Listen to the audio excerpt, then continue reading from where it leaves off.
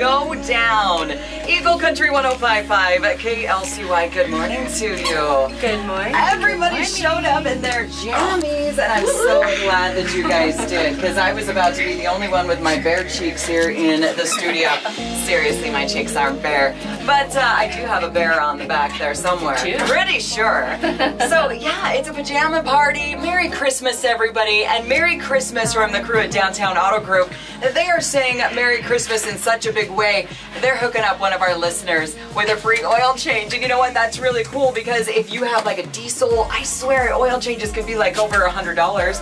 For me, it's like right near a hundred dollars for my truck. Exactly. So this is going to be even more. So Yeah. get an even better value for that free oil change. Super cool, and I see some really cute photos on my Facebook page. So Amy Richards, find me there, get it posted.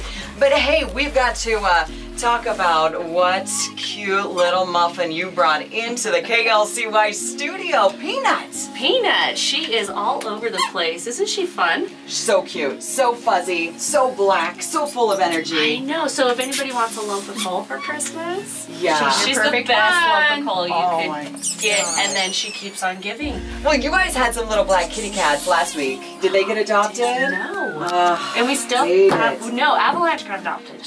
Oh, good. Yes. All right, so Avalanche got adopted. There's Yes, still the did. two uh, black kitty cats that you had on last week, but now they got the cutest black dog. So Peanut is down here by my feet, rubbing up on my Uggs, loving every second of it. But I've just got to ask you, is it a good idea to give a cat or dog for a Christmas present? If you understand that it's more than a couple week commitment. Yeah. Like like I said, this is the gift that keeps on giving. I mean, how many smiles did she bring to us today?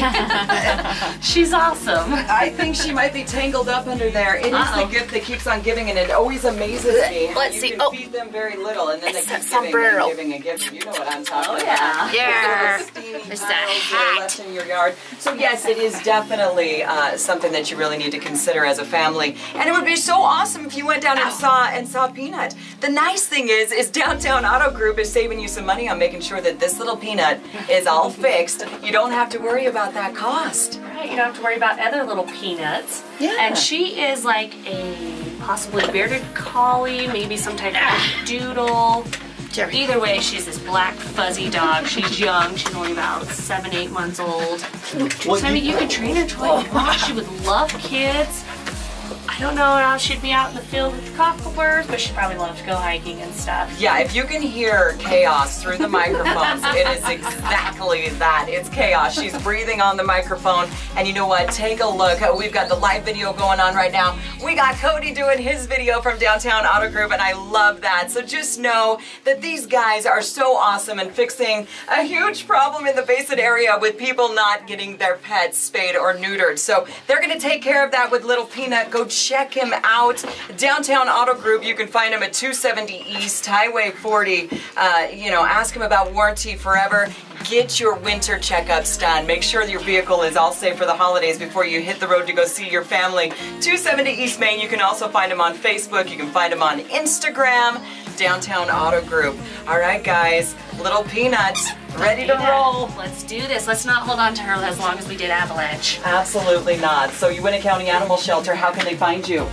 We are at 1387 East, 335 South, and if you need help, you can call us at 781-7297. All right, Merry Christmas, guys, and we'll let you know the winner of the oil change coming up here in just a few minutes.